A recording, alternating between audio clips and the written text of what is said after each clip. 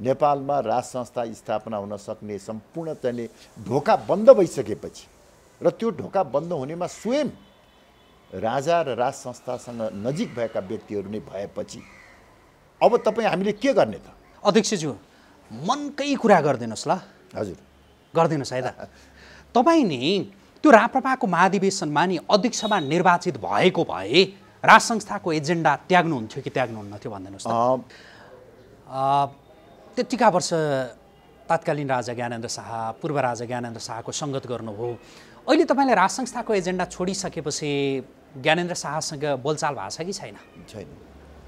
गर्न मन? छ। मन छ? छ। के भन्न मन छ भेटेर?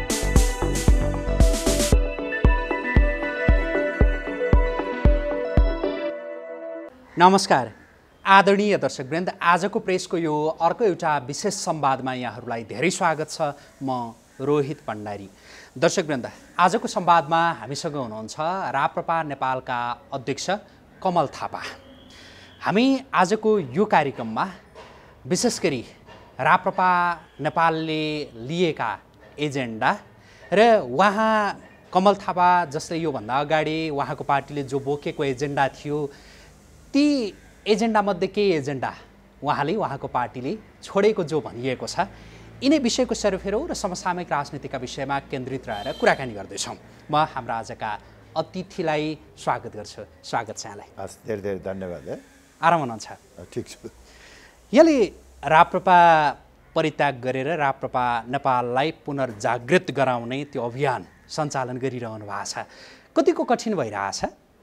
अब निश्चय पनि नयाँ पार्टी खोलेर सङ्गठन निर्माण गर्नु र त्यसलाई स्थापित गर्नु अत्यन्तै चुनौतीपूर्ण कार्य हो र त्यो सुरुको एउटा प्रसव वेदना हामीले अहिले पनि भोगिराखेका छौँ तर हामीले जुन विचार बोकेर हिँडेका छौँ त्यो विचारको सशक्तताको कारणले गर्दाखेरि हाम्रा सबै चुनौतीहरू एकपछि अर्को गर्दै हामी पार गर्न सक्दछौँ र चाँडै नै राप्रपा नेपाललाई देशको एउटा अग्रणी शक्तिका रूपमा स्थापित गराउन सक्छौँ भन्ने हामीलाई लागेको छ।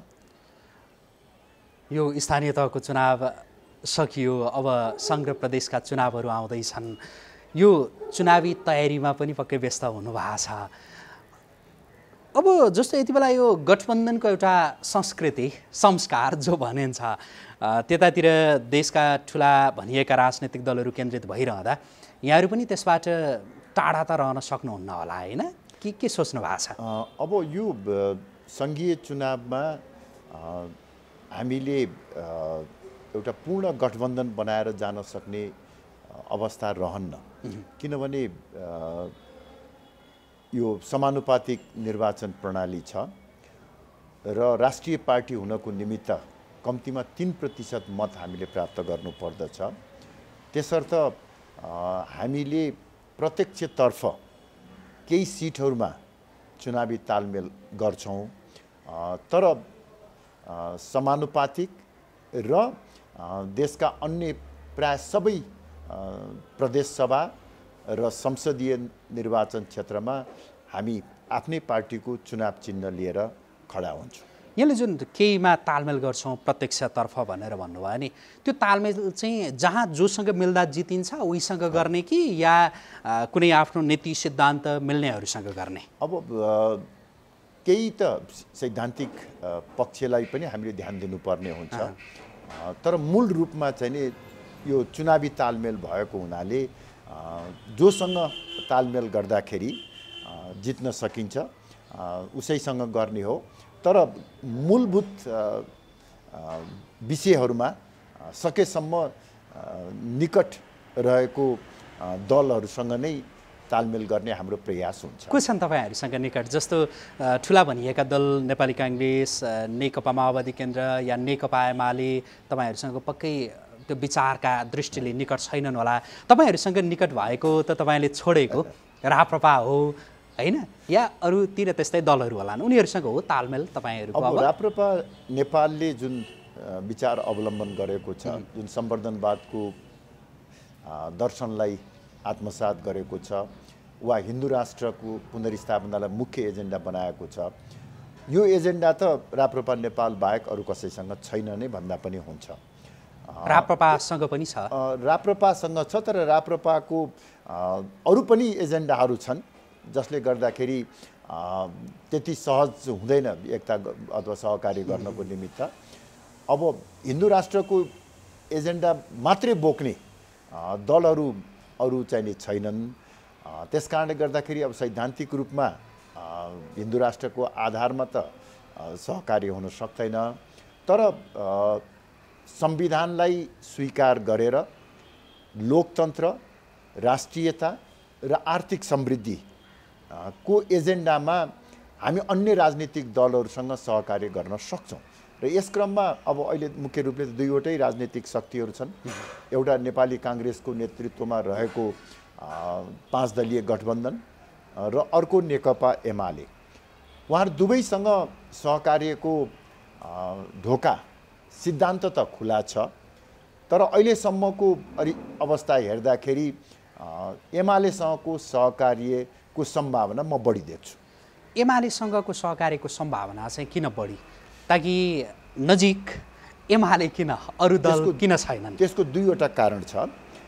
एउटा कारण राष्ट्रियता दोस्रो विगत केही वर्ष यता केपी ओलीको नेतृत्वमा स्थायित्व र समृद्धिको निमित्त नेकपा एमाले जुन भूमिका निर्वाह गरेको छ त्यसले गर्दाखेरि पनि हामी तुलनात्मक रूपमा एमालेसँग सहकार्य गरेर जान सक्ने सम्भावना बढी देख्छौँ किनभने राप्रपा नेपाल पनि राष्ट्रवादी पार्टी हो। राष्ट्रियतालाई हामीले सर्वोपरि साध्यको रूपमा लिएका छौँ। भने अर्कोतर्फ लोकतान्त्रिक प्रणालीको माध्यमबाट आर्थिक समृद्धि हाम्रो पार्टीको पनि मुख्य एजेन्डा हो। यस कारणले गर्दाखेरि एमालेसँग अलिकति सहकार्यको सम्भावना बलियो छ। तर यति भनेर म अहिले नै सबै कुरा टुङ्गिसकेको अ, भन्न चाहन्न। यस सम्बन्धमा त अहिले प्रारम्भिक कुरा पनि भएको छैन। अझै पाँच महिना चुनाव आउनु बाँकी छ। मैले अघि पनि भने सिद्धान्त त कङ्ग्रेससँग वा अन्य राजनीतिक दलहरूसँग पनि सहकार्य गरेर जान सक्ने सम्भावना अहिले पनि थ्योरिटिकल्ली विद्यमान छ। जस्तै यहाँनिर एमालेसँग चाहिँ अलिकति त्यो सम्भावना बढी भएको छ भन्ने आशयले जो कुरा गर्नुभयो अन्यथा नलिनु होला। जस्तो यहाँलाई के पनि भन्छन् भने सामाजिक सञ्जालमा यहाँ पनि एकदमै अपडेटेड नेता हुनुहुन्छ। तपाईँ एमालेसँग चुनावी तालमेल मात्रै गर्नुहुन्न। यहाँको निर्वाचन क्षेत्रबाट यहाँले जित्ने पक्का पक्की भयो भनेदेखि एमालेसँग पार्टी एकता नै गरिदिनुहुन्छ भनेर पनि केहीले भन्छन्। यसलाई चाहिँ कुन रूपमा भन्नुहुन्छ कुनै सत्यता छैन। यो अत्यन्त निराधार कपोल कल्पित र आधारहीन कुरा हो। हाम्रो चरित्र हत्या गर्नको निमित्त वा हामीलाई बदनाम गर्नका निमित्त यस्ता आरोप प्रत्यारोपहरू लगाइन्छ। एमाले एउटा निश्चय पनि मैले अघि भने जस्तै एउटा राष्ट्रवादी पार्टी हो र विगत तिस बत्तिस वर्षदेखि प्रजातान्त्रिक मूल्य र मान्यतालाई पनि आत्मसात गरेको पार्टी हो। तर मैले यहाँलाई भन्नै पर्दछ कि नेपालको राष्ट्रिय राजनीतिमा मैले काङ्ग्रेस र एमालेको भन्दा फरक वैचारिक धरातलमा एउटा शक्ति निर्माण गर्न खोजिराखेका छु।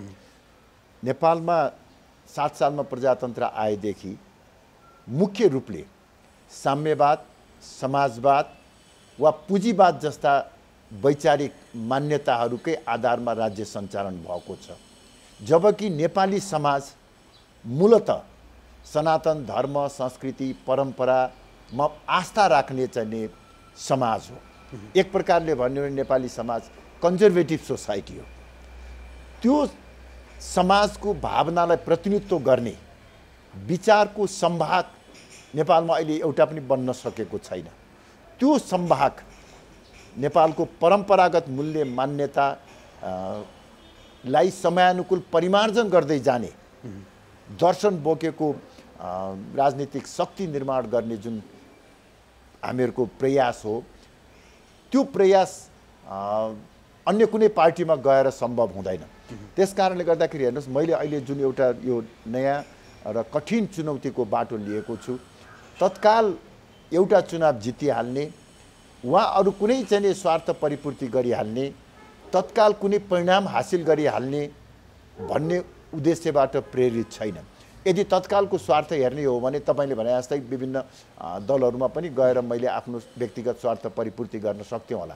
तर म एउटा चाहिँ नेपालको सामाजिक सांस्कृतिक परिवेश अनुसारको मौलिक विचारधारा बोकेको शक्ति निर्माण गर्ने लामो यात्रामा हिँडेको छु। त्यस कारणले गर्दाखेरि मैले अन्य कुनै पार्टीमा प्रवेश गर्ने भन्ने सम्भावना शून्य नै छ भन्दा। तपाईँ लामो यात्रामा त हुनुहुन्छ होइन? तर तपाईँ यात्रा गर्दा गर्दै छिटै थाक्नु हुँदो रहेछ भनेर पनि भन्छन् कि अहिले। जस्तो विशेष गरी राज संस्थाको एजेन्डाको विषयलाई लिएर। तपाईँ कुनै बेला भन्नुहुन्थ्यो नि यो देश जोगाउन सक्ने भनेको राज संस्थाले हो भनेर होइन? तपाईँ त्यो एउटा सुदूर यात्रामा जो लाग निस्किनु भएको थियो तर थकित थकित थकित भएर नै होला तपाईँले त्यो विषयमा छोडिदिनु भयो त्यो भएर पनि तपाईँलाई के लाग्छ? जस्तो अहिले मलाई विश्वास गर्ने भन्दा अविश्वास गर्नेहरू चाहिँ ज्यादा भयो कि जस्तो यो मनले कोही कोही बेला भन्छ कि भन्दैन? होइन मलाई लाग्छ के भन्दा हेर्नुहोस् वास्तवमा राज संस्थाको एजेन्डा पनि मैले एउटा अत्यन्तै कठिन र प्रतिकूल अवस्थामा बोकेको हुँ। जब सिङ्गो मुलुक गणतन्त्रमय भएको बेलामा जब हिजो राजासँग सँगै काम गरेका प्रधानमन्त्री मन्त्री लगायतका राजाका सबै सहयोगीहरू परिवर्तनको चाहना भनेर गणतन्त्रमा गएको बेलामा हामीले राज संस्थाको बत्ती निम्न नदिनको निमित्त त्यो कठिन र चुनौतीपूर्ण बाटो हिँडेका थियौँ। पन्ध्र वर्षसम्म हामीले निरन्तर प्रयास गऱ्यौँ। तर हाम्रो निरन्तरको प्रयासका बावजुद राज संस्था पुनर्स्थापना हुन सक्ने धरातलीय यथार्थ देखिएन। हाम्रो निरन्तरको प्रयासका बावजुद राजा र दलहरूको बिचको सम्बन्ध झन्झन चिसिँदै गयो। जनतामा राज संस्थाप्रतिको विश्वास घट्दै गयो। त्यो अवस्थामा सैद्धान्तिक रूपले आफूलाई ठिक लागे तापनि धरातले यथार्थ र जनभावनाले त्यो कुरालाई अनुमोदन नगरेको अवस्थामा असम्भव एजेन्डा बोकेर जाँदा आफू पनि समाप्त हुने पार्टी पनि समाप्त हुने र हामीले बोकेको जुन एउटा विचार हो हामीले त केवल राज संस्था पुनर्स्थापनाको निमित्त मात्र भनेर राप्रपा नेपाल स्थापना गरे त होइन। हामीहरूको त अघि मैले भने जस्तै एउटा राष्ट्रवादी सम्वर्धनवादी परम्परावादी वैचारिक दर्शन बोकेको पार्टी थियो। त्यसको एउटा कम्पोनेन्ट राज संस्था हो। अब त्यो एजेन्डाको सम्भावना नदेखिँदाखेरि त्यो एजेन्डासँगै सती गएर अरू सबै एजेन्डालाई समाप्त पार्ने ओझेलमा पार्ने काम त गर्नु भएन। त्यस कारणले गर्दाखेरि हामीले अहिलेको समय काल परिस्थितिलाई दृष्टिगत गर्दै नयाँ ढङ्गबाट अगाडि बढ्ने प्रयास गरेका हौँ। र यसमा एउटा कुरा के पनि भन्न चाहन्छु के भने हेर्नुहोस् कुनै पनि विचार समय काल परिस्थिति अनुसार परिमार्जन गर्न सकिएन भने त्यो जड सूत्रमा परि परिणत हुन्छ। जस्तो मैले यहाँलाई रोकेँ तपाईँले देशमा राज संस्था पुनस्थापना त्यो सम्भव छैन भनेर त्यो दिनबाट मात्रै देख्न थाल्नुभयो भनेर भन्छन् मान्छेहरूले। जुन दिन तपाईँ राप्रपाको अध्यक्षमा तपाईँ पराजित हुनुभयो। त्यो रिजल्ट आउनुभन्दा केही क्षण अघिसम्म त तपाईँ फेरि सम्भावना देख्नुहुन्थ्यो होइन? त्यो थियो नि छाना चाहिँ होइन त्यस अब त्यसलाई चाहिँ प्रकारान्तरले त्यो कुरा भन्न सकेला तर के भनेदेखि अब विगत पन्ध्र वर्षको चाहिँ नि अभ्यासलाई हेर्दाखेरि राज संस्था पुनर्स्थापनाको निमित्त हामी चाहिँ सडकमा टाउको फुटाएर हिँडिराखेका थियौँ तर स्वयं राजा वा राज संस्थाबाट त्यस दिशातर्फ कुनै किसिमको सकारात्मक योगदान हुन सकेन एकातिर यो अवस्था थियो भने अर्कोतर्फ खास गरी दुई हजार त्रिहत्तर सालपछि पटक पटक राप्रपा नेपालको अथवा राप्रपाको आन्तरिक मामिलामा राजाको सचिवालय निर्मल निवासले हस्तक्षेप गर्ने त्यसको माइक्रो म्यानेजमेन्ट गर्ने अवाञ्छित गतिविधिमा संलग्न हुँदै आयो र त्यसको चरमोत्कर्ष पार्टीको एकता महाधिवेशन हो हेर्नुहोस्। त्यसैले गर्दाखेरि तपाईँले मैले राज संस्थाको एजेन्डा छोड्ने क्रममा निर्णायक घडी भन्नुहोस् वा प्रिसिपिटेटिङ फ्याक्टर त्यो महाधिवेशनमा निर्मल निवासको हस्तक्षेप हो। तर त्यही एउटा घटना नै सम्पूर्ण कारक चाहिँ होइन। अध्यक्षज्यू मनकै कुरा गरिदिनुहोस् ल। हजुर। गरिदिनुहोस् है त। तपाईँ नि त्यो राप्रपाको महाधिवेशनमा नि अध्यक्षमा निर्वाचित भएको भए राज संस्थाको एजेन्डा त्याग्नुहुन्थ्यो कि त्याग्नुहुन्न थियो भनिदिनुहोस् अब त्यसमा के केही अन्य कुराहरूमा भर पर्थ्यो। म यदि अध्यक्षमा निर्वाचित भएको भए पहिलो दिनबाटै केन्द्रीय कार्य समितिको बैठक पहिलो बैठकबाटै निर्मल निवासको अवाञ्छित हस्तक्षेपको विरोध प्रस्ताव म पारित गर्थेँ हेर्नुहोस्। अब त्यसले परिस्थिति कहाँ लैजान्थ्यो? राज संस्थाको एजेन्डा माथि नै पुनर्विचार गर्ने अवस्था पुग्थ्यो या पुग्दैन? गर्नुहुन्थ्यो ताकि यत्तिका वर्षसम्म राज संस्थाको एजेन्डा बोकेको देशमा राजा चाहिन्छ चाहिन्छ भनेर भनेको व्यक्ति र त्यो पार्टीको अध्यक्षले अनि निर्मल निवासका विरुद्धमा या भन्छ नि उसको हस्तक्षेपका विरुद्धमा यो गर्थेँ त्यो गर्थेँ भनेर भन्दा अहिले यही अन्तर्वार्ता हेर्नेहरूले पनि पत्याउनु होला र फेरि? ठिक छ। होइन पत्याउने नपत्याउने आफ्नो ठाउँमा छ। या अब मैले एउटा नयाँ कोर्स नयाँ बाटो अवलम्बन गरिसकेको छु। र यसमा म सन्तुष्ट छु। वास्तवमा राज संस्थाप्रति मेरो आस्था भए पनि राज राजा वा राज संस्थाप्रति अहिले पनि माया ममता भए पनि राज संस्थालाई अहिले पनि सम्मान गर्ने भए तापनि ठिक बेठिक अब त्यो भविष्यले निर्धारण गर्नेछ। म अब नयाँ बाटोबाट अगाडि बढिसकेको छु। र मेरो अब तपाईँहरू जस्तै सञ्चारकर्मी मित्रहरूलाई पनि के अनुरोध छ भने अब यो हाइपोथेटिकल किसिमका कुराहरूमा गएर त्यसमा चाहिँ यो निरर्थक बहस गर्नुको सट्टा अब मैले लिएको नयाँ बाटो यो बाटोलाई कसरी स्थापित त्यसका विषयमा नि म। यसको सार्थकताको बारेमा चर्चा गर्नु चाहिँ बढी त्यसका प्रासङ्गिक त्यसका विषयमा नि। सोध्छु। यहाँलाई सोध्छु म त्यो विषयमा पनि सोध्छु र त्यो विषयमा पनि चर्चा गरौँला। अलिकति चाहिँ यसैका विषयमा केही बेर कुरा गर्ने त्यो अनुमति चाहन्छु है म। जस्तो तपाईँ कुनै बेला भन्नुहुन्थ्यो कि यो गणतन्त्र भनेको कसैले बोकाइदिएको यो भारी हो भनेर भन्नुहुन्थ्यो। आज तपाईँ अरूले चाहिँ बोकाइदिएकै रहेछ भने नि चौध पन्ध्र वर्ष अगाडि नै बोके। तपाईँ चाहिँ चौध पन्ध्र वर्ष पछाडि आएर त्यो भारी बोक्न लाग्नु भयो। कतिको गरुङ्गो होला यो भारी भन्ने लाग्छ कि लाग्दैन भोलिका वास्तवमा के भनेदेखि चाहिँ नि गणतन्त्रको बाटोमा जाने हाम्रो निर्णय हाम्रो चोइस होइन। हाम्रो परिस्थितिजन्य बाध्यता हो। तर बाध्यता नै भए पनि नि बाध्यता नै भए पनि नि तपाईँले भने हो नि है। हिजोकै दिनमा विदेशीले बोकाइदिएको भारी भन्नुभयो गणतन्त्रलाई। आज त्यही भारी किन बोक्न लाग्नु भयो सुन्नु त कि। यो भारी चाहिँ म बोक्दिनँ ठिकै छ म राज संस्था नि मान्दिनँ। बरु यो राज संस्था नि होइन गणतन्त्र नि होइन अरू केही हुनसक्छ भनेर तपाईँ जतिको नेताले भन्न सक्नुहुन्थ्यो होला। आज त्यो विदेशीले बोकाइदिएको भारी यो देशको एकजना आशलाग्दो नेता कमल थापाले बोक्नुपर्ने बाध्यता किन आइलाग्यो होइन? त्यसको कारण के भन्थ्यो? राज संस्था पुनर्स्थापना हुने सम्भावना देखिएन। र अर्को कुरा चाहिँ तपाईँको के भनेदेखि अब हामीले राज संस्था पुनर्स्थापना गर्ने भन्ने बित्तिकै केवल एउटा भावना मान्यता मात्र आउने होइन। राज संस्था भन्ने बित्तिकै संस्था आउँछ। संस्था भन्ने बित्तिकै पात्रहरू आउँछ व्यक्तिहरू आउँछ। अब त्यो संस्था वा त्यो पात्र स्वयं राज संस्था पुनर्स्थापना गर्ने दिशातर्फ सकारात्मक रूपमा लागिरहेको छैन भने हामी चाहिँ नि तपाईँको चाहिँ नि सडकमा चिच्याएर हिँड्नुको के अर्थ आउँछ? त्यो त माने मैले तर त्यो भन्दा हुन्छ नि जो तपाईँकै शब्द है यो मैले मैले बोलिरहेको होइन तपाईँले नै कुनै बेला बोलेको कुरा यो गणतन्त्र भनेको विदेशीले बोकाइदिएको भारी भनेर भन्नुभयो। हो। यो देशमा ज्ञानेन्द्र शाहलाई बोक्नुभन्दा विदेशीहरूलाई बोक्नु चाहिँ तपाईँले स्वाभिमानी होइन, ठान्नु सुन्नु हो न, त्यो चाहिँ ठुलो लाग्यो त्यो चाहिँ ठिक लाग्यो अलिकति फरक ढङ्गबाट बुझ्नु पर्दछ। म अहिले पनि भन्दछु कि नेपालमा गणतन्त्रको स्थापना स्वाभाविक प्रक्रियाबाट आएको होइन। जनताले प्रत्यक्ष मत हालेर आएको पनि होइन। एक प्रकारले भन्ने हो भने बाह्य शक्तिको चाहिँ नि सहयोग प्रायोजनमै गणतन्त्रको स्थापना भएको चाहेर भन्नुहोस् नचाहेर भन्नुहोस् एबोर्सनबाट भन्नुहोस् या प्राकृतिक चाहिँ तरिकाले भन्नुहोस् बच्चा त जन्म्यो।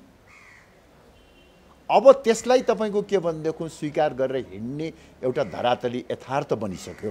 हामीले प्रयास गऱ्यौँ।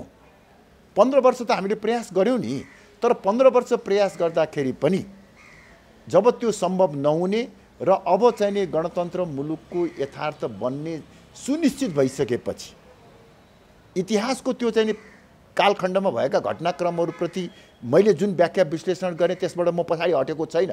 मेरो मान्यता त यति मात्र हो के भनेदेखि चाहिँ नि एकातिर राज संस्था पुनर्स्थापना हुने धरातली यथार्थ देखिएन।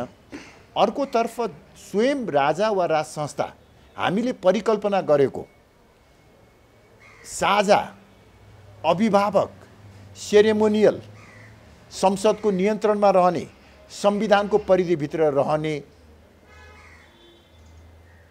मान्यता अनुकूलको भएन।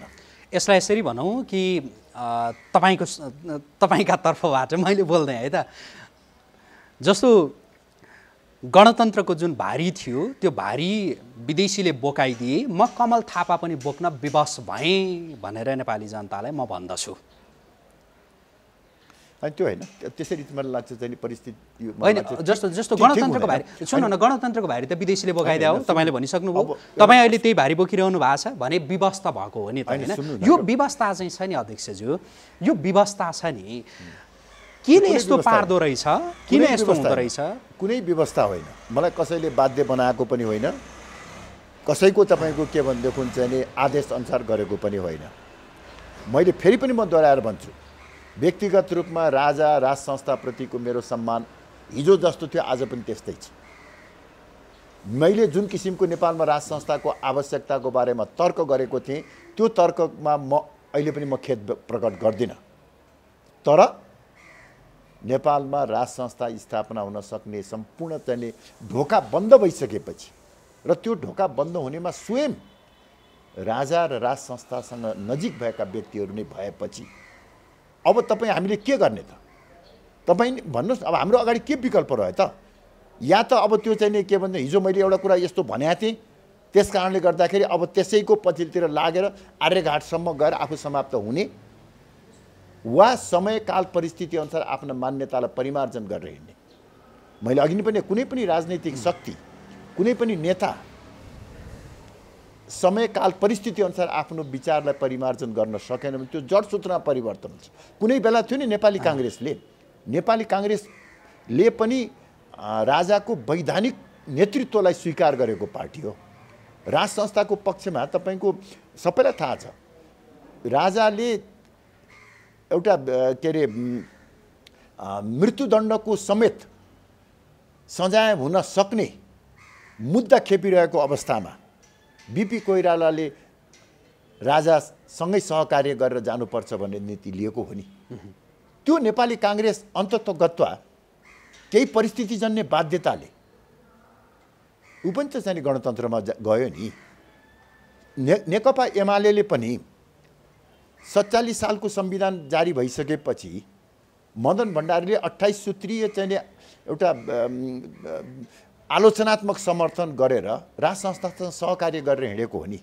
तर एउटा यस्तो परिस्थिति आयो जुन परिस्थितिमा उसले गणतन्त्रमा जाने स्थिति अब काङ्ग्रेसले समयकाल परिस्थिति अनुसार गणतन्त्रमा जाँदाखेरि क्रान्तिकारी ठहरिने नेकपा एमाले गणतन्त्रमा जाँदाखेरि महान एउटा चाहिँ प्रजातान्त्रिक ठहरिने राप्रपा नेपाल वा कमल थापाले अन्तिम समयसम्म राज संस्थाको पक्षमा लड्ने र त्यही राज संस्थाले चाहिँ नि त पछाडिबाट छुरी हानेर समाप्त पार्न खोज्ने अनि त्यसपछि पनि राज संस्था बोकेर हिँडिराख्नु पर्ने। वा चाहिँ त्यसको विकल्पमा जाँदाखेरि चाहिँ धोका दिएको यसमा चाहिँ यस्तो थियो यसमा चाहिँ के थियो भन्नु होला भने उनीहरूले तपाईँले जुन जुन दलको नाम लिनुभयो जो जो नेताहरूको नाम लिनुभयो उनीहरूले त आफूलाई सुरुदेखि नै भनौँ न जो बैसठी त्रिसठी त्यस आसपासदेखि नै गणतन्त्रवादी भनेर त भनेकै थिए। सँगसँगै तपाईँले जस्तो के चाहिँ भनेको थिएनन् भने यो गणतन्त्र विदेशीले बोकाइदिएको भारी भनेर भनेको थिएनन्। तपाईँले भन्नुभएको थियो त्यो भएर मात्रै यो कुरा उहाँहरूले मैले भनेको भन्दा पनि बिपी कोइरालाको अथवा चाहिँ नि नेपाली काङ्ग्रेसका नेताहरूको विगतका वक्तव्यहरू सुन्नुभयो भने मैले भन्दा पनि चर्को रूपमा उहाँहरूले चाहिँ नि गणतन्त्रको विरोध गर्नुभएको थियो। मैले अघि नै भने राजाले मृत्युदण्डको सजाय हुने मुद्दा लगाउँदाखेरि पनि गणतन्त्रलाई स्वीकार नगरेर राजाको चाहिँ पक्षमा उभिएको हो नि चाहिँ बिपी कोइराला? गिरिजाप्रसाद कोइराला अन्तिमसम्म चाहिँ के अरे बेबी किङको कुरा गर्दै हुनुहुन्थ्यो। गणतन्त्र नेपालमा हुँदैन भनेर भन्दै हुनुहुन्थ्यो। तर एउटा यस्तो विशिष्ट परिस्थिति आयो। त्यो परिस्थितिमा उहाँहरूले पनि आफूलाई परिवर्तन गर्नुभयो। र मैले पनि समय काल परिस्थितिलाई दृष्टिगत गर्दै जनताको सर्वोच्चतालाई स्वीकार गरेर हिँड्ने बाटोबाट हिँडेको अब म राजतन्त्र र गणतन्त्रका क्वेसन धेरै गर्दिनँ है यहाँसँग। तर एउटा एउटा चाहिँ मैले राखिहालेँ। जस्तो विदेशीले त्यो बोकाइदिएको गणतन्त्रको भारी नि कमल थापाले कहिलेसम्म बोक्ने अब? कतिको गरौँ होला यो भारी भने के? सुन्नुहोस् न तपाईँको के भनेदेखि चाहिँ नि मैले अघि पनि एउटा उदाहरण दिएको थिएँ। महिलाको गर्भधारण भयो। त्यो गर्भधारण भएपछि प्राकृतिक तरिकाले बच्चा जन्म नसक्ने भएपछि एबोर्सनबाट आएछ नि। नेपालको गणतन्त्र एक प्रकारले भन्यो भने एबोर्सनबाटै आयो। अब त्यसको अस्तित्वलाई स्वीकार गर्ने बाहेक अर्को विकल्पै तपाईँसँग छैन। अब तपाईँको चाहिँ स्वाभाविक रूपले यही लोकतान्त्रिक व्यवस्था प्रणाली अनुसार हामीले चाहिँ अगाडि बढ्नुपर्छ र तपाईँको के भनेदेखि लोकतान्त्रिक मूल्य र मान्यताकै जगमा सबल र समृद्ध नेपाल निर्माण गर्नु तपाईँकै कुनै बेलाको शब्द विदेशीले बोकाइदिएको भारी गणतन्त्र होइन? यो आइसकेपछि जो विदेशी हस्तक्षेप ज्यादा बढिरहेको छ भनेर तपाईँले पनि भनिरहेका हो अरूले पनि भनिरहेका छन्। यो हस्तक्षेपलाई अब स्वीकारेरै त अगाडि बढ्नु पर्यो। यो परिस्थितिले नै अघि जसरी राजतन्त्र भन्थ्यौँ कुनै बेला अहिले गणतन्त्र भन्नु पर्यो भने जस्तै यो परिस्थितिले नै विदेशीहरूको हस्तक्षेपलाई स्वीकार्नुपर्ने अवस्थामा नेपालीलाई पुर्याइदियो होइन, अब। के भनेदेखि चाहिँ नि गणतन्त्र ल्याउनमा बाह्य शक्तिको हस्तक्षेप भयो भन्नुको मतलब गणतान्त्रिक व्यवस्थामा भएका सबै विकृतिहरूलाई स्वीकार गरेर जानुपर्छ भनेर भन्ने ढङ्गबाट तपाईँले बुझ्नुभयो भने मलाई लाग्छ त्यो गलत हुन्छ। र अहिले जुन किसिमको विकृतिहरू देखिराखेको छ यो विकृतिमा राजाको हात छैन। राज संस्थाको कुनै भूमिका छैन। अहिले देशमा जुन किसिमको चाहिँ नि बाह्य शक्तिको चलखेल भ्रष्टाचार धर्म परिवर्तन वा लोकतन्त्रमाथिको खतराको जुन कुरा छ यसमा राज संस्थालाई दोष दिएर साध्य हुँदैन। तर यसको माने सम्पूर्ण रूपमा गणतन्त्रका यी जम्मै विकृतिहरू पनि अब हामीले चाहिँ स्वीकार गर्नुपर्छ। यो सबै ठिक हो भन्ने ढङ्गबाट अगाडि बढ्नुपर्छ भनेर चाहिँ तपाईँ दलिल गरिराख्नु भएको छ भने तपाईँले प्रजातन्त्रको मूलभूत मान्यतालाई पनि बुझ्नु भएको छैन र गणतन्त्र वा प्रजातन्त्र असफल भयो भनेर निरङ्कुशतामा जाने किसिमको सोचाइबाट मुक्त हुनुहोस् भन्ने तपाईँलाई भन्छु हेर्नुहोस्। त्यो त्यो बाह्य शक्तिको हस्तक्षेप भन्दैमा यो गणतन्त्रलाई को कारणले गर्दाखेरि बाह्य हस्तक्षेप सधैँ चाहिँ हामीले स्वीकार गर्नुपर्छ। गणतन्त्र चाहिँ स्वीकार गरेको कारणले गर्दाखेरि भ्रष्टाचार सबै कुरा चाहिँ जायज ठहर्छन्। यहाँ भएका हिंसा हत्या र बलात्कार सबै जायज ठहर्छन्। प्रजातान्त्रिक मूल्य र मान्यता अनुसार एउटा पार्टी असफल भयो भने अर्को पार्टी आउँछ। एउटा नेता भ्रष्ट भयो भने अर्को नेता आउँछ। यो प्रजातन्त्रको सौन्दर्य हो। यही प्रजातन्त्रले यो विकृतिहरूलाई अन्त्य गर्छ। यही प्रजातन्त्रले बाह्य शक्तिको हस्तक्षेपलाई चाहिँ पराजित गर्दछ। आज केही नेताहरू चाहिँ भ्रष्ट भयो होला केही नेताहरू आत्मसमर्पणवादी भयो होला तर भोलि अर्को नेता आउँछ अर्को पार्टी आउँछ र जसले चाहिँ तपाईँको बाह्य हस्तक्षेपलाई पनि नियन्त्रणमा राख्छ ने स्थायित्व कायम गर्छ।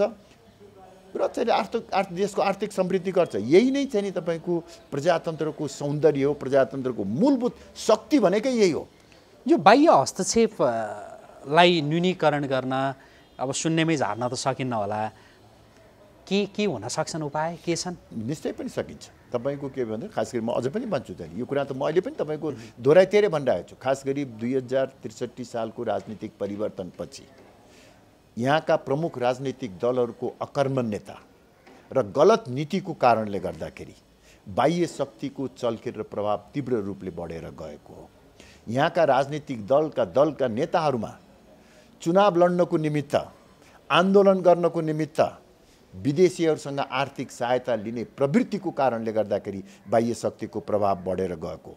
यहाँका राजनीतिक दल र दलका नेताहरूको सत्तामा पुग्न र सत्तामा पुगेपछि टिकेर बस्नको निमित्त विदेशीको सहयोग र आशीर्वाद चाहिन्छ भन्ने आत्मसमर्पणवादी मानसिकता भएको कारणले गर्दाखेरि विदेशीहरूको मनोबल बढेर गएको। यसका विरुद्धमा राप्रपा नेपाल जस्तो राष्ट्रवादी पार्टी बलियो भएर आयो भने नेपालमा कुनै विदेशी शक्तिले टाउको शिर ठाडो गरेर जान सक्ने अवस्था आउँदैन। यसको निमित्त समय लाग्न सक्छ। अहिले प्रमुख राजनीतिक दलहरूले जुन किसिमको एउटा चाहिँ आफ्नो सङ्गठनलाई बलियो बनाएर गएका छन् जुन किसिमको प्रभाव छ त्यसलाई पराजित गर्नको निमित्त टाइम लाग्ला। तर समय लाग्छ समय लाग्छ हुन्छ चाहिँ। यत्रो एउटा चाहिँ किल्लाको रूपमा चाहिँ पार्टीहरूले बनाएको काठमाडौँमा नेपाली काङ्ग्रेस एमाले माओवादी जस्ता पार्टीहरूले जुन किसिमको गढ बनाएका थिए त्यसलाई एउटा चाहिँ बालेन शाहले पराजित गर गर्न सक्छ भने भोलिको दिनमा जनताको अभिमतबाट यी प्रमुख राजनीतिक दलहरूका चाहिँ जुन एउटा सर्वसत्तावादी वर्चस्व छ त्यसलाई समाप्त पार्न सकिन्छ हेर्नुहोस्। त्यही कारणले हामी लागिराखेका छौँ। तर दुर्भाग्य कुरा के छ भने जुन इमान्दारीपूर्वक हामी लागिराखेका छौँ जुन राष्ट्रवादी सोचका साथ हामी लागिराखेका छौँ हामीलाई उठ्न नदिनको निमित्त परोक्ष रूपमा हाम्रै सहयोगीहरू लागिराखेका छन् तपाईँको? गलत गलत किसिमको यो यो तपाईँको इमान्दारितामाथि नि मान्छेहरूले किन शङ्का गरे होलान्? ताकि मेरो आफ्नै कहीँ कमजोरीहरू चाहिँ यो ज्यादा भयो होला होइन? त्यो भएर मेरो इमान्दारितामाथि मान्छेहरूले शङ्का गरे होलान् भनेर चाहिँ लाग्छ कि लाग्दैन? निश्चय पनि मेरा पनि कमी कमजोरीहरू छन्। कुनै पनि व्यक्ति सर्वगुण सम्पन्न हुँदैन। हरेक व्यक्तिका आफ्ना कमजोरीहरू छन्। म पनि एउटा मानिस हुँ मेरा पनि कमजोरीहरू छन्। त्यो कमजोरीहरूलाई मैले स्वीकार गरेको छु बुझेको छु। तर यति हुँदाहुँदै म तपाईँलाई एउटा कुरा चाहिँ के निवेदन गरौँ भने हेर्नुहोस् नेपालमा राष्ट्रियताको पक्षमा हिन्दू राष्ट्रको पक्षमा सशक्त ढङ्गबाट आवाज उठाउने प्रमुख व्यक्ति कमल थापा र कमल थापाले उठाउन खोजेको पार्टी भएको कारणले गर्दा नेपालमा राष्ट्रवादी शक्ति बलियो नहोस्। नेपालमा हिन्दूवादी शक्ति बलियो नहोस्। नेपाल कहिले हिन्दू राष्ट्र नहोस् भन्ने जुन देशी विदेशी शक्तिहरू छन् उनीहरूले अनेक किसिमका चाहिँ भ्रमहरू सिर्जना गर्ने अनेक किसिमका गलत आरोपहरू लगाउने चरित्र हत्या गर्ने काम योजनाबद्ध र सङ्गठित रूपले गरिरहेछन् र त्यसको प्रभाव समाजमा केही परेको छ र खास गरी हाम्रै साथीभाइहरू पनि मा त्यो किसिमको प्रभाव परेको छ? म त एउटा कुरा भन्छु हेर्नुहोस् नेपालमा राज संस्था पुनर्स्थापना हुन सक्थ्यो यदि राजा ज्ञानेन्द्रले अलिकति विवेक पुर्याउनु भएको भए। तर त्यो विवेक पुर्याउनुको सट्टा अनेक किसिमका मान्छेहरूको कुरा सुनेर राज संस्थाको प्रमुख सम्भा एजेन्डाको प्रमुख सम्वाहकलाई नै समाप्त पार्ने काममा स्वयं राजा ज्ञानेन्द्र प्रयोग हुनुभयो र राजा ज्ञानेन्द्रलाई त्यसरी प्रयोग गर्नुमा मैले अघि भने जस्तै एउटा राष्ट्रवादी राजावादी हिन्दूवादी शक्ति बलियो नहोस् कमल थापा समाप्त होस् भन्ने चाहना राख्नेहरूको प्रभावमा राजा ज्ञानेन्द्र पनि परे हो। कस्तो खालको विवेक उहाँले पुर्याएको भए राज संस्था पुनस्थापना हुन्थ्यो? उहाँले सबभन्दा पहिलो कुरो त मैले पटक पटक उहाँलाई भनेको हुँ नेपालमा राज संस्थाको पुनर्स्थापना विदेशी शक्तिले गर्ने होइन। उहाँलाई त्यो भ्रम थियो। के भनेदेखि नेपालमा विदेशीले नै गणतन्त्र ल्याइदिएको। त्यस कारणले विदेशीले नै त्यो कुरा चाहिँ नि सच्याउँछ यहाँका राजनीतिक दलहरू प्राय सबै विदेशीको प्रभाव र दबावमा छन्। त्यस कारणले विदेशी खुसी भयो भने मात्रै चाहिँ नि यहाँका राजनीतिक दलहरू ठिक हुन्छन् भन्ने सोचाइ। र त्यसपछि यो दुई हजार त्रिसठी साल वैशाखको पहिलो हप्तामा भारतीय प्रधानमन्त्री मनमोहन सिंहको पत्र लिएर कर्णसिंह आउनुभयो राजालाई पत्र दिनुभयो। त्यो पत्रमा के के लेखिया थियो हामीलाई थाहा छैन। तर त्यो पत्रमा यति धेरै आश्वस्त हुनुभयो उहाँ र राज संस्था पुनर्स्थापनाको एउटा तपाईँको आधारको रूपमा त्यसलाई लिएर सुरुका तपाईँ देख्नुभयो होला अहिले अहिले त्यो अन्त भयो।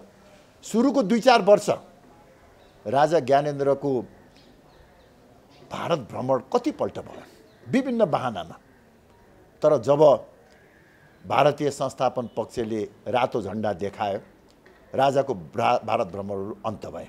त्यसपछि उहाँलाई लाग्यो कि नेपालका हिन्दूवादी शक्तिहरूलाई चाहिँ नि एकत्रित गरेर त्यो शक्तिको आडमा चाहिँ नि राज संस्था पुनर्स्थापना हुन सक्छन् भन्दाखेरि राजाको मन्दिर मठ मन्दिरमा भ्रमणहरू एकपछि अर्को गर्दै चाहिँ हरेक महिना जस्तो हुन थाल्यो।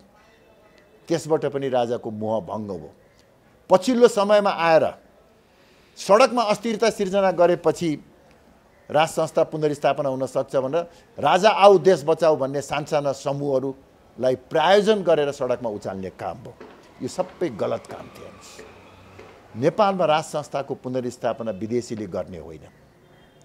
नेपालमा राज संस्थाको पुनर्स्थापना देशभित्र अस्थिरता र अराजकता सिर्जना भएर सेनाले कु गरेर स्थापना हुने पनि होइन।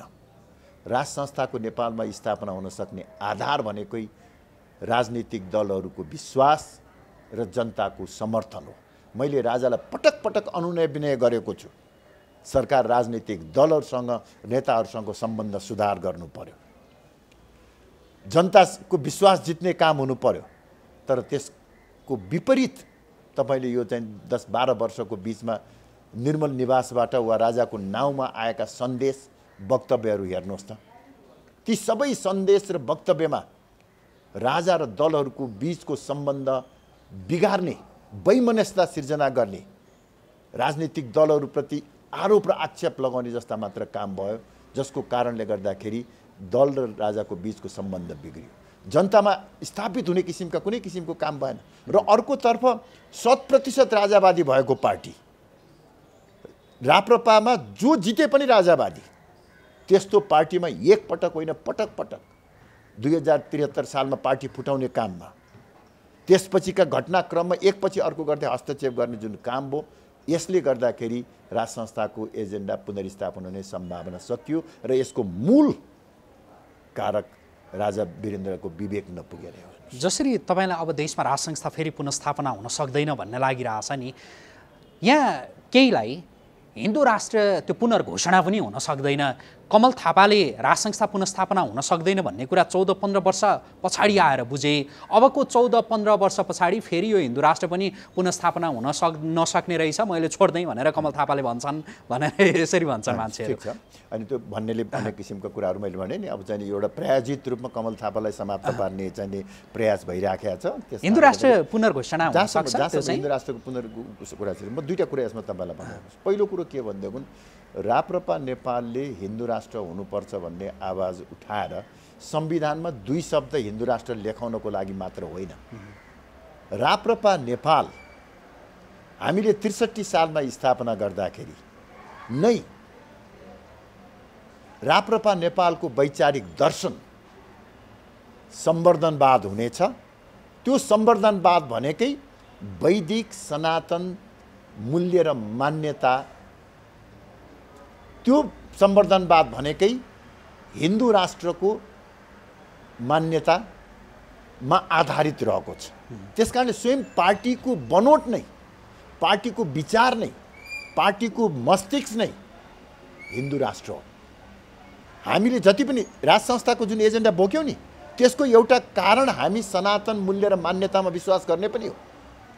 हामीले चाहिँ सम्वर्धनवाद वा सनातन वैदिक मूल्य र मान्यताको जुन कुरा गरेका जुन हिन्दू राष्ट्रको कुरा गरेका छौँ त्यसको आधारमा हामीले निरन्तरतासहितको परिवर्तनको कुरा गरेका छौँ। हामीले समन्वयात्मक मानवतावादको कुरा गरेका छौँ। हामीले सुदृढ स्थानीय स्वायत्त शासन प्रणालीको कुरा गरेका छौँ। हामीले उदार अर्थतन्त्रको कुरा गरेका छौँ। यी जति पनि मान्यताहरू छन् यो तपाईँको के भनेदेखि बृहत्तर हिन्दुत्वको मान्यताहरू हुन् त्यस कारणले भोलि हिन्दू राष्ट्र स्थापना कति बेला हुन्छ कहिले हुन्छ भन्ने कुरासँग हामीलाई सम्बन्ध छैन हिन्दुत्व त राप्रपाको विचार हो। त्यस कारणले गर्दाखेरि हिन्दू राष्ट्र तपाईँको कहिले स्थापना हुन्छ वा हिन्दू राष्ट्र स्थापना हुने बित्तिकै राप्रपा नेपालको काम सकिने होइन। हिन्दू राष्ट्र स्थापना भइसकेपछि पनि हिन्दुत्वको मान्यतालाई बोकेर सनातन वैदिक मूल्य र मान्यतालाई बोकेर यो समाजको परिवर्तन गर्ने आर्थिक सामाजिक राजनीतिक रूपान्तरण गर्ने काममा हामी निरन्तर रूपमा लागिरहने भएको हुनाले हिन्दू राष्ट्र कहिले स्थापना हुन्छ भन्ने कुरा त्यति महत्त्वपूर्ण कुरा होइन। हामी हिन्दू राष्ट्र तत्काल स्थापना भएन भने पनि हिन्दू राष्ट्रको मान्यतालाई निरन्तर रूपमा अगाडि बढाउँछौँ। हिन्दुत्वको मान्यता जुन दिन राप्रपा नेपालले छोड्छ राप्रपा नेपालको वैचारिक मृत्यु हुन्छ हेर्नुहोस्। त्यस कारणले गर्दाखेरि यो राप्रपाको प्राणसँग गाँसिएको विषय हो हिन्दू राष्ट्र हेर्नुहोस्। जहाँसम्म अब हिन्दू राष्ट्रको कहिले स्थापना हुन्छ के भन्ने चाहिँ हेर्नुहोस् वास्तवमा हिन्दू राष्ट्र त म भन्दिनँ। धर्मनिरपेक्षता करिब करिब हाम्रो प्रयासले यही संविधानमा नरहने करिब करिब अवस्था सिर्जना भएको थियो। अन्तिम घडीमा केही व्यक्तिहरूको चाहिँ विदेशी शक्ति र केही व्यक्तिहरूको चाहिँ नि स्वार्थको कारणले गर्दा धर्मनिरपेक्षता रह्यो। तर नेपालका प्रमुख राजनीतिक दलहरू अहिले पनि महसुस गर्नुभएको छ कि धर्मनिरपेक्षता चाहिँ नराखेको भए हुन्थ्यो। धार्मिक स्वतन्त्रताको कुरा गरे भए हुन्थ्यो। सनातन धर्मको रक्षाको कुरा गरेको हुन्थ्यो भन्ने अहिले पनि प्रमुख राजनीतिक दलहरूमा छ र मसँग अहिले पनि कुराकानी गर्दाखेरि उहाँहरू के भन्नुहुन्छ भने तपाईँले हिन्दुत्वको जुन कुरा लिएर हिँडिराख्नु भएको छ हिन्दू राष्ट्रको कुरा लिएर हिँडिराख्नु भएको छ यसमा हामीलाई आपत्ति छैन। अब हामी कुराकानीको अन्त्य अन्त्यतिर पनि छौँ। मसँग केही जिज्ञासाहरू त छन् मैले धेरै समय लिएँ त्यो भएर पनि म अलिक छट्याउन चाहन्छु। जस्तो यो हिन्दू राष्ट्रको जुन एजेन्डा हो नि राप्रपा नेपालले बोकिरहेको तपाईँले जसरी राज संस्थाको एजेन्डालाई छोडिदिनु भयो भोलिका दिनमा राप्रपा नेपालले कमल थापाले यो हिन्दू राष्ट्रको एजेन्डा चाहिँ नछोड्ने भन्ने त्यो विश्वास कसरी दिलाउनुहुन्छ जनतालाई? म यसकारण दिलाउँछु कि मैले अघि पनि भनिसकेँ त्यत्रो व्याख्या गरेर। प्राणको कुरा भन्नुभयो। वैचारिक प्राण भनेकै हिन्दू राष्ट्र हिन्दुत्व सम्वर्धनवाद हो। तर तर त्यो प्राण मैले किन यो शङ्काको नजरले यहाँसँग हेरिरहेको छु र सोधिरहेको छु भने हिजोका दिनमा के तपाईँलाई राज संस्था पनि त्यो राप्रपाको प्राण हो राप्रपा त्यति बेलाको राप्रपा नेपालको प्राण हो नै भन्नुहुन्थ्यो कि? अब यसलाई पनि भन्न त भन्नुभएको छ। तर जनताले कसरी पत्याउने। राज संस्था भन्नु र हिन्दुत्व होइन, होइन, हिजो भने त हो नि, भनेको होइन। त्यो त्यो मलाई लाग्छ त्यो गलत व्याख्या भयो। होइन, त्यसरी भन्नु राज। संस्थाको पक्षमा मैले वकालत गरेँ त्यो बेग्लै कुरा हो हेर्नुहोस्। तर राज संस्था भनेको एउटा शासकीय स्वरूप हो। हिन्दुत्व भने दर्शन हो हेर्नुहोस्। शासकीय स्वरूप र एउटा संस्थाको कुरा गर्नु र हिन्दुत्वको कुरा गर्नुको बिचमा आकाश र जमिनको फरक छ। हो यति भन्दा भन्दै पनि के भने हिन्दुत्वको एउटा व्यापक परिवेशमा राज संस्थाको पनि स्थान छ फेरि। राज संस्था हाम्रो सनातन धार्मिक मूल्य र मान्यतामा राज संस्थाको अस्तित्व स्वीकार गरिएको छ। त्यो कारणले राज संस्था हामीले बोकेर हिँडेका हौँ। राज संस्था र हिन्दू राष्ट्र दुईवटा चाहिँ एउटै धरातलमा राखेर होइन। हिन्द हिन्दुत्व भन्नुहोस् हिन्दू राष्ट्र भन्नुहोस् सम्वर्धनवाद भन्नुहोस् वैदिक सनातन मूल्य र मान्यता भनेको एउटा दर्शन हो। समाज परिवार राष्ट्र सञ्चालनको आधार स्तम्भ हो। त्यस कारणले यो त समाप्त हुने कुरै आउँदैन। र अर्को कुरा तपाईँको के भनेदेखि चाहिँ नि हामीले एउटा जुन किसिमको एउटा कन्जर्भेटिभ आइडियोलोजीमा आधारित पार्टी निर्माण गर्न खोजेका छौँ त्यो कन्जर्भेटिभ आइडियोलोजीको अभिन्न अङ्ग हिन्दू राष्ट्र भएको हुनाले त्यो त चाहिँ निरन्तर रूपमा रहिरहन्छ। जहाँसम्म त्यो त पार्टीको जीवनसँग सम्बन्धित कुरा हो। जा हिन्दू राष्ट्र भन्ने जुन कुरा संविधानमा लेखाउने कुरा ट्याम लाग्न सक्छ। जस्तो भारतमा भनौँ न भारतमा भारतीय जनता पार्टीको वैचारिक दर्शन हिन्दुत्व वैदिक सनातन मूल्य र मान्यता हो। तर उसले अहिलेसम्म हिन्दू राष्ट्र त लेखाउन सकेका छैन। संविधानमा। समय लाग्छ। समय लाग्छ। त्यसको निमित्त समय लाग्छ। जनतालाई यदि हामीले विश्वास भारतमा जति समय नलाग्ला किनभने भारतमा तपाईँको के अरे झन्डै बिस करोडभन्दा बढी त मुस्लिमहरू छन्। त्यस कारण त्यहाँ त्यति सजिलो छैन। तर नेपालमा जुन किसिमको चौरानब्बे प्रतिशत जनताको आस्था र विश्वास छ यदि यहाँ हामीले ठिक ढङ्गबाट काम गर्न सक्यौँ भने मलाई लाग्छ के भने हिन्दू राष्ट्र लेखिन सक्छ। फेरि भारतमा नेपालमा फरक के छ भने भारत कहिले पनि हिन्दू राष्ट्र थिएन। संविधानमा त कहिले पनि थिएन। नेपाल त दुई हजार पन्ध्र सालदेखिका संविधानमा कुनै न कुनै रूपमा हिन्दुत्व वा हिन्दू राष्ट्र त उल्लेख भएर आएको छ। त्यस कारणले गर्दाखेरि पहिला पनि अभ्यास गरिएको र हिन्दू राष्ट्र हुँदाखेरि पनि यहाँ धार्मिक स्वतन्त्रता र समानता रहेको कारणले गर्दाखेरि जनताले सहजै स्वीकार गर्न सक्छन्। केवल अहिले हामी एउटा मुक्त के हुनु परेको छ भने हेर्नुहोस् जुन किसिमको अहिले मैले अघि भने नि हिन्दुत्वको बारेमा हिन्दू राष्ट्रको बारेमा सङ्गठित र योजनाबद्ध रूपमा एउटा बौद्धिक आतङ्क खडा गरिएको छ। त्यो बौद्धिक आतङ्कको शिकार नेपालका बुद्धिजीवीहरू नागरिक समाजका अगुवाहरू र कतिपय सन्दर्भमा आम जनता पनि परेका छन्।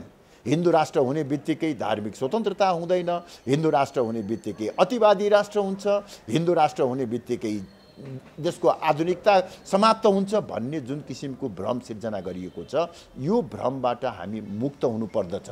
जसरी एउटा क्रिस्चियन भ्यालुजमा आधारित भएर युरोप र अमेरिकाले विकास गर्न सक्छन् भने जसरी एउटा चाहिँ बुद्धिस्ट आइडियोलोजीमा अथवा चाहिँ नि इस्लामिक मान्यतामा आधारित भएर कैयौँ मुलुकहरूले विकास गर्न सक्छन् भने हाम्रो सनातन धार्मिक सांस्कृतिक मूल्य र मान्यता जो विश्वमै सबैभन्दा प्राचीन छ सबैभन्दा सम्पन्न छ यो परम्परा र संस्कृतिको जगमा नेपालको विकास हुन सक्छ भन्ने त्यो आत्मविश्वास हुनु पर्यो। किन हुन सक्दैन? अब अब म कार्यक्रमलाई टुङ्ग्याउँछु। जस्तो एक दुईवटा मात्रै जिज्ञासा छन् यहाँसँग। यहाँसँग अघि नै मैले कार्यक्रमको सुरुतिर सोधेको थिएँ जस्तो निकटता होइन? पार्टी यहाँहरूको विचार सिद्धान्तसँग निकट कोसँग भन्दा खास त्यस्तो छैन। अब जस्तो राप्रपासँग जो राजेन्द्र लिङ्गदनले नेतृत्व गरिरहनु भएको पार्टीसँग एउटा मुद्दामा यहाँहरू नजिकै हुनुहुन्छ होइन? जुन यहाँहरूले आफ्नो मूल प्राण भन्नुभएको छ त्यो प्राण उहाँहरूले पनि भन्नुभएको छ। अब यो चुनावमा तपाईँहरूको उहाँहरूसँग चाहिँ सहकार्य हुन सक्दैन? अब राप्रपासँग असम्भव छैन। सहकार्य हुन सक्छ चुनावमा पनि सहकार्य हुन सक्छ। त्यति मात्रै होइन किन मतलब यो पनि भन्नु हेर्नुहोस् वास्तवमा के भनेदेखि राज संस्थाको एजेन्डाका बारेमा राप्रपाले पुनरावलोकन गर्यो भने पार्टी नै पनि हामी एक भएर जान सक्छौँ हेर्नुहोस्। किनभने म एउटा कुरा चाहिँ के भन्छु म अब त्यहाँ पार्टीका सबै नेताहरूलाई चिन्दछु हेर्नुहोस्। त्यो पार्टीका प्रमुख शीर्ष नेताहरू त दस वर्ष गणतन्त्रमै रहेका हुन्। उहाँहरू प्राविधिक रूपमा मैले अनेक कुरा गरेर राज संस्थाको एजेन्डामा लिएर आएको हुँ। उहाँहरूको आत्मीय चाहिँ तपाईँको चाहिँ राज संस्थाप्रतिको एजेन्डामा आत्मीय विश्वास अहिले पनि छैन। केही नयाँ युवाहरू जो जोसिला छन् ती युवाहरू नै थिए मलाई विगतमा। अहिले पनि राज संस्थाको एजेन्डा बोकेर हिँडेर उहाँहरूको शब्दलाई चाहिँ मलाई भन्न पनि अस्ति अस्ति लाग्छ कि। जो अहिले युवा नेताहरू हुनुहुन्छ नि उहाँहरूले यति चाहिँ नि राज संस्थाप्रति एउटा घृणा हुने किसिमको शब्द प्रयोग गरेर दाई यसलाई बोकेर हिँडेर भनेर भन्नुहुन्थ्यो। उहाँहरूले अहिले जुन बोकिराख्नु भएको छ त्यसका केही कारणहरू छन् केही प्रायोजनहरू छन्। कस्तो कारण कस्तो प्रायोजन? एकदमै छोटोमा अनि यो सबै कुरा डिटेल मैले भन्नु पनि उपयुक्त हुँदैन। समयकाल परिस्थितिले चाहिँ त्यो कुरा देखाउँछ र मलाई पुरा विश्वास चाहिँ के भन्दा जुन कुरो मैले बुझ्नको निमित्त मलाई पन्ध्र वर्ष लाग्यो अहिले राप्रपाको नेतृत्वमा भएका व्यक्तिहरूलाई त्यो बुझ्नको निमित्त मलाई लाग्छ पन्ध्र महिना वा चाहिँ अर्को चाहिँ एकाध वर्ष अरू लाग्न सक्ला तर उहाँहरूले पनि बुझ्नुहुन्छ कि यो असम्भव भयो। अब सम्भव छैन। त्यस कारणले हामीले चाहिँ कुनै न कुनै रूपमा अब राज संस्थाको एजेन्डालाई डिप फ्रिजमा राख्नुपर्छ भन्ने कुराको रियलाइजेसन उनीहरूमा पनि हुन्छ। त्यो भएको दिन हामी सँगै काम बसेर काम र अर्को एउटा यसमा म थप्न चाहन्छु के भन्दा त्यस कारण मैले भने के भने अहिले राप्रपालाई निर्मल निवासले राज संस्था पुनर्स्थापना सङ्घर्ष समितिको रूपमा परिणत गर्न खोजेको छ। हिन्दू राष्ट्र वा हिन्दुत्व उनीहरूको भोट तान्ने एजेन्डा मात्र हो। त्यो उनीहरूले आप इन्टरनलाइज गर्ने भन्छ नि। यो आत्मैदेखि स्वीकार गरेको एजेन्डा होइन। त्यो किसिमको व्यवहार त्यो किसिमको आचरण त्यो किसिमको संस्कार त्यो किसिमको चरित्र त्यो पार्टीका नेताहरूमा अथवा त्यो पार्टीभित्र छँदै छैन। त्यहाँभित्र केही चाहिँ यस्ता नेताहरू हुनुहुन्थ्यो जसले हिन्दू राष्ट्रको सशक्त रूपमा विरोध गर्नुहुन्थ्यो। यो चाहिँ के भनेदेखि यो जातीय साम्प्रदायिक धार्मिक विषयहरू चाहिँ लिएर चाहिँ पार्टी जानु हुँदैन भनेर भन्ने नेताहरूको वर्चस्व त्यहाँ अहिले पनि छ। उहाँहरूले रणनीतिक रूपमा मात्रै हिन्दू राष्ट्रलाई चाहिँ स्वीकार गर्नुभएको। राप्रपा नेपाल त्यो होइन। राप्रपा नेपालको त मैले अघि नै भने यो रणनीतिक होइन। यो एउटा प्राणसँग सम्बन्धित जीवन दायी शक्तिको रूपमा हामीले भनेपछि। उहाँहरूले राज संस्थाको मामलामा पुनर्विचार गर्नुभयो भनेदेखि चाहिँ राप्रपा र राप्रपा नेपालका बिचमा एकीकरण नै हुन सक्छ अब सँगै जान सकिन्छ। तपाईँले चाहिँ अब जिन्दगीभरका लागि त्यागेको हो त्यो राज संस्थाको एजेन्डा? हो। जस्तो श्रीबहादुर थापाकै कुरा गरौँ या पशुपति शमशेर राणाको या अरूको कुरा गरौँ उहाँहरू तपाईँले भने जस्तो गणतन्त्र भनेर भन्नुभयो फेरि राज संस्था भनेर फर्किनु भएको थियो होइन? त्यसै गरी तपाईँ पनि होइन होइन गणतन्त्र केही समय त भन्यो योभन्दा त त्यही पो ठिक रहेछ भनेर उता फर्किने सम्भावना छैन? छैन सम्भावना छैन। छँदै छैन? छैन अनि मेरो तपाईँको यति तपाईँको एउटा अनुभव भयो। अब त्यो अनुभवलेबाट केही पाठ सिकेको छु हेर्नुहोस्। विगतको घटनाहरूप्रति मलाई कुनै खेद छैन तिक्तता छैन। तर के भनेदेखि चाहिँ नि मलाई अहिले सन्तुष्ट यस कारण छ कि अन्तत्वगत्वा म जनताको माझमा आएको छु। हिजोको दिनमा त्यो दुई चार प्रतिशत मतमा मात्रै मेरो पार्टी आधारित थियो। अहिले चौरानब्बे प्रतिशत जनताको मतमा आधारित छ। त्यसैले यसको भविष्य पनि छ। अब मलाई आरोप लगाउँछन् हेर्नुहोस्। अब आरोप ती मानिसहरूमा लगाइन्छ जसबाट आशा र विश्वास पनि हुन्छ। त्यस कारणले गर्दाखेरि मलाई लाग्छ के भनेदेखि अब मलाई जतिसुकै आरोप प्रत्यारोप लगाइए तापनि जुनसुकै एउटा चरित्र हत्या गर्ने प्रयास भए तापनि म कति पनि विचलित नभइकन आफ्नो बाटोमा लाग्छु भगवान् श्रीकृष्णले गीतामा भन्नुभएको छ। कर्मण्ये बाधिकारस्ते मा फलेषु कदाचन। मा कर्मफले हेतुर्भुर्मा ते सङ्गत सङ्गस्त्व कर्मणि। योगस्थ कुरु कर्मणि सङ्ग त्यक्त्वा धनञ्जय। सिद्धि सिद्धयो सङ्ग त्यक्त्वा धनञ्जय। सिद्ध सिद्धियो योग उज्यते भनेर जुन भनिएको छ यो भावनाबाट म प्रेरित भएर निष्काम कर्मको भावनाले लागेको छु। अन्तिममा एउटा प्रश्न। त्यत्तिका वर्ष तात्कालीन राजा ज्ञानेन्द्र शाह पूर्व राजा ज्ञानेन्द्र शाहको सङ्गत गर्नुभयो। अहिले तपाईँले राज संस्थाको एजेन्डा छोडिसकेपछि ज्ञानेन्द्र शाहसँग बोलचाल भएको छ कि छैन? छैन। गर्न मन? छ। मन छ? छ। के भन्न मन छ भेटेर? होइन राजसँग भेटेर सबभन्दा पहिला कुरा त सोध्नु मन छ कि सरकार मैले यति चाहिँ नि एउटा सशक्त ढङ्गबाट राज संस्थाको एजेन्डा बोकेर एउटा आफ्नो जीवन नै उत्सर्ग गरेको अवस्थामा महाधिवेशनभन्दा तिन हप्ता अगाडि अब म विश्राम लिउँ कि भनेर मैले चाहिँ भनेको बेलामा बेला भएको छैन भन्ने र पछाडिबाट छुरा हान्ने काम किन गरिबक्स्यो भनेर सोध्न मन छ। तपाईँले त्यो भन्नका लागि उहाँलाई समय मिलाउनुहोस् न भन्नुभयो भने त उहाँले ओके भन्नु होला नि? त्यो मन छैन तपाईँलाई अहिले अहिले होइन पछि अलिकति परिस्थिति अहिले त हुन्छ। आलो छ घाउ त्यस कारणले गर्दा यो घाउ अलिकति खत बस्दै जाओस् अनि त्यसपछि चाहिँ नि मलाई लाग्छ चाहिँ नि गरौँला दुःख सुख हुन्छ आजका लागि कुराकानी यति गरौँ। समय दिनुभयो। आजको प्रेसका तर्फबाट यहाँलाई धेरै धेरै धन्यवाद। हस् धेरै धेरै धन्यवाद मेरो पनि। हस्। आदरणीय दर्शकवृन्द हामी कुराकानी गरिरहेका थियौँ। राप्रपा नेपालका अध्यक्ष कमल थापासँग। उहाँसँगको यो कुराकानीसँगै आजको प्रेसको विशेष संवाद अहिलेका लागि यहीँ सकिन्छ। पल पलको अपडेट ताजा बहस र विश्लेषणात्मक टिप्पणीका लागि आजको प्रेस हेर्दै गर्नुहोला। नमस्कार।